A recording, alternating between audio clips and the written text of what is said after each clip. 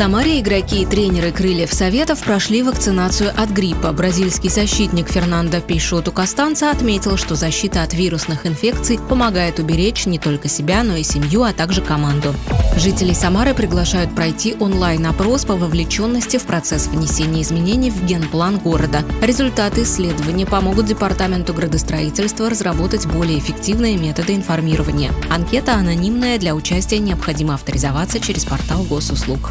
Октябрьском районе Самары отремонтировали двор в рамках областного проекта «Содействие», благоустроили территорию и расширили парковку для автомобилей. Жители Самары могут подать заявки для участия в новом конкурсном отборе «Содействие» до 31 октября. На Самару 16 октября обрушится магнитная буря. В этот день возможно ухудшение физического состояния, головная боль, слабость, снижение концентрации внимания, работоспособности, сонливость.